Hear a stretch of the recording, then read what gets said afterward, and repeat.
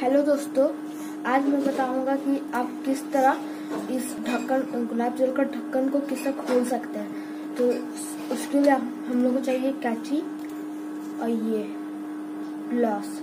तो कैची को लीजिए और एक जगह, यहाँ पर देखिए, दिखाता हूँ। एक जगह छोटा सा रुकिए।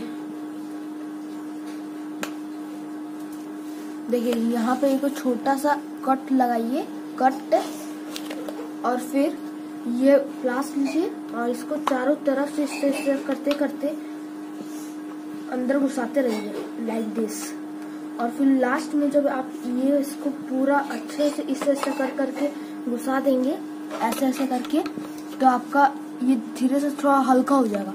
और जैसे ही आप इसको अंदर घुसाएँगे तो ये फिर खुलने लग जाएगा। तो फिर इसको, फिर आप इसको जैसे जितना मर्ज़ी आप घुसा सकते हैं, इसको इतना दूर तक तो कम से कम घुसाइएगा ही। और चलिए, इसको मैं खोल देता हूँ, मेरा खुल गया है। देखिए देखिए, ये खुल गया देखिए, इसको फिर आप लास्ट में इस्तेमाल मार के बंद भी कर सकते हैं। देखिए, अभी खुल नहीं रहा है, अब खुल रहा है। खींचने से खुल जाता है।